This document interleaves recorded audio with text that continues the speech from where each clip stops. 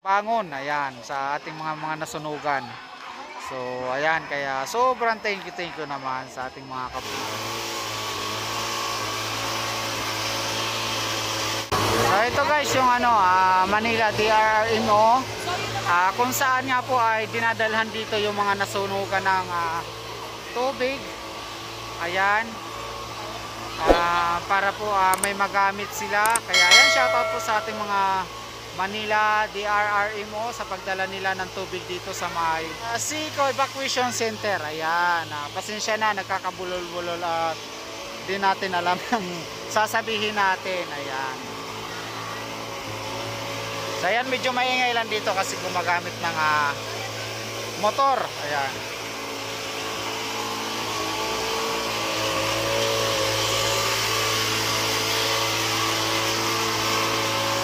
So ito yung pila dito ah, ng mga tubig para magkaroon lang sila ng ah, tubig na magamit.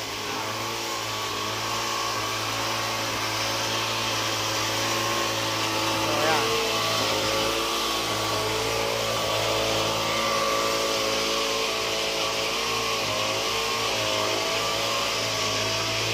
Ma'am hello, hello po. Ayan, thank you, thank you, thank you din po Ma'am Mel. So, talagang uh, move on na lang po tayo at move forward. At ipagdasal na lang natin na sana ay ah, abutan ng tulong yung ating ah, mga kababayan at puntahan. So, sana naman na yung mga nangailangan, lalo na itong mga nasunugan na talagang ah, nahihirapan, walang damit, walang ah, gamit, Ano? Ayan. Mas marami ang pangka. Alam ko, gwapo ka eh. so yan mga kababayan, meron lang tayong napansin dito na dumating na sasakyan na isang malaking truck at ayan may nakalagay nga na, na ano no, uh, Eurotex foam. Ayan yung truck na yan at ayan, to joins. Ayan, to joins pa rin yung mga bata. Ayan. Wow! Kochon. Swerte naman nila. Yoratix. Ayan, shout out po sa donate nag-donate ng uh, Yoratix foam. Bongga naman, di ba? Galing. Tapos ano, Meron ng may pumoy. maps. Meron na po ba yan? Bigay sa ating mga kababayan na sunugan.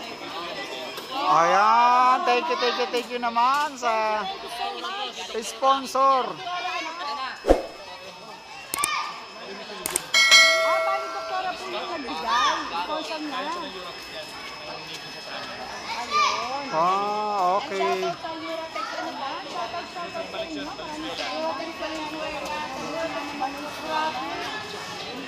Shout out po sa doktora na nagbigay nitong uh, Yoratex foam. Ayan.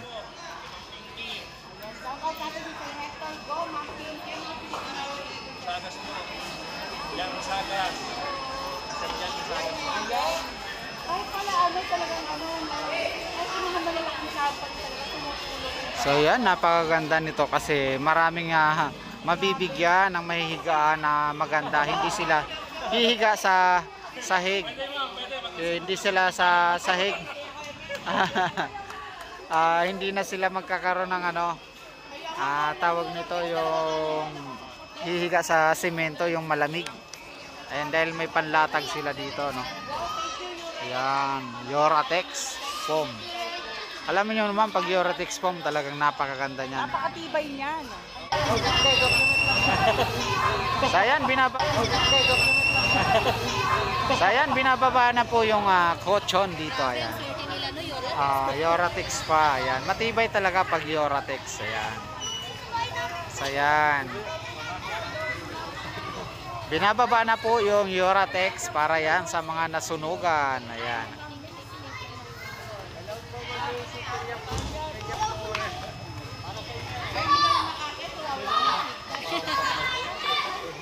Ang galing! Nakakatuwa ka ng bahay. Kaya talagang dapat. Apply na!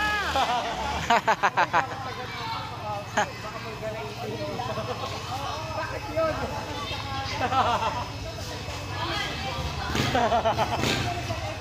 Ayan, bumili ko na naman sila mo. Bumili ko na naman mga sila ko. Ako? Huwag ka kasing tumabi dito. Signal jammer ka eh.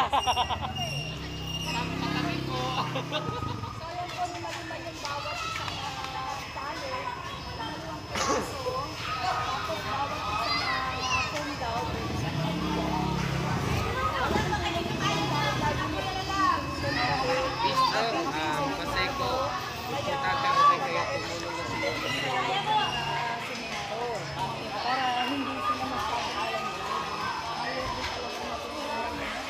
Ayan, shoutout po sa lahat ng ating mga kababayan. At ah, tuloy-tuloy nga po yung pagdating namong tumutulong dito sa mga nasunugan sa Basico.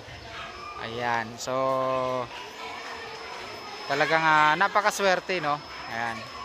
Ng ah, ating mga kababayan kasi meron pa rin talagang ah, mga tumutulong. Ayan, kagaya nga nito. So sana po lahat lahat po tayo no. Ayan, ah, wala na po tayong ah, ibang ah, ah, kung ano-ano pa man, ah, magkukulay-kulay pa ba dyan or ano pa man, ay dapat po ay magkaisa na lang po tayo at magtulong-tulong tayo para ayan sa lahat po ng ah, ating mga kababayan na nangangailangan ng tulong. ah, wag na po tayong ah, ah, magtalo-talo pa. Ayan, ah, kung anong kulay man tayo. Ayan. So, ang importante ay nakakatulong tayo sa ating mga kapwa, kababayan para sa ating ah, ah, pagbangon ayan sa ating mga mga nasunugan. So ayan kaya sobrang thank you thank you naman sa ating mga kababayan na mababait na nakakapagbigay ng tulong ayan. So lalo lalo na rin doon sa mga nagpakain kanina. Ayan, maraming salamat po. Ayan. May mga paupahan. Apo. Ayan, shoutout po sa 15 viewers. Maraming salamat po sa inyo. At yan, ah, dito nga po tayo sa may evacuation center ng uh, Basico, no? Sa kung saan nga po yung mga pinami ah, binibigyan ng mga pagkain dito ay yung mga nasunugan, no?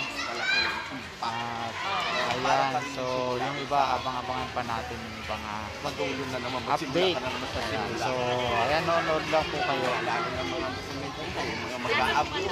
Opo. Nasunog lahat. Sunog din.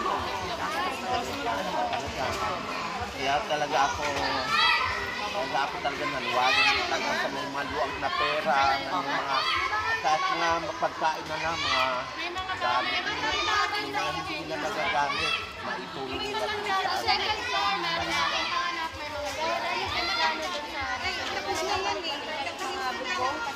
Ah, parang sa tingin ko muna po ay manggagaling ko muna po Sir, sir, ano po ba kayo dito, sir?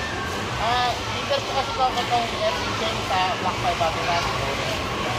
Hindi ko yung totoo na walo lang yung boto ni Orme. Opo. Ilang, mga ilan po ba yung totoong boto rito sa kabuuan? May tali po kami. Lamang lang po si, si Orme, si Bongbong dito na ano. Ah, uh, ano lang, hindi lang po ganong malaki, hindi naman landslide. Pero marami rin po boto si Orme. Tinampayan naman po namin si Orme, kaso yung mga tao, hindi naman namin pinipili. Opo. Yung barangay naman din po si Orme, dati tinampayan po namin talaga rin. Hmm. Siyempre, si Bongbong eh, Marcos lang po ang wala sa kanya. Opo. Pero sa nagawa, wala na po kami masabi kay Orme kasi lahat halos ng tulong. Dati nga po yung unang sunog din sa dito sa likod ano, Opo. eh kampanya nga pa nga po ni Orme nasa dulo ng Pilipinas. Mas kinagabihan, pumunta po siya dito, nagbiro po siya ng ayuda sa mga nasunugan. Pero hindi naman po talaga na binenta yung boto nito, wala naman po halos. So yung pong mga bumoto kay BBM, hindi naman dahil binenta nila yung naman po boto. kasi ha- halos ng team ni Orme dito panalo po eh. Hmm. Si Orme lang po ang pero si Rani Lacuna, mga timas yung tumanili. Si Orme po ang panalo. Ayun ang binoto Po, nila. kasi yung mga team ni Orme po ang nanalo. Kasi para pagpatuloy pa rin po yung mga programa ni Orme. Pero kasama pa nga po kami, nag-ikot si anak po ni Orme, yung panganay si Sir Patrick. Ay, kinapinig po namin sila sa Basito yung panguling kapatid. Ano po, pupunta ko po po yung anak na, yung kaklase ng anak ko po. Sige, sige. Thank you, sir. Thank you, thank you na marami. Thank you.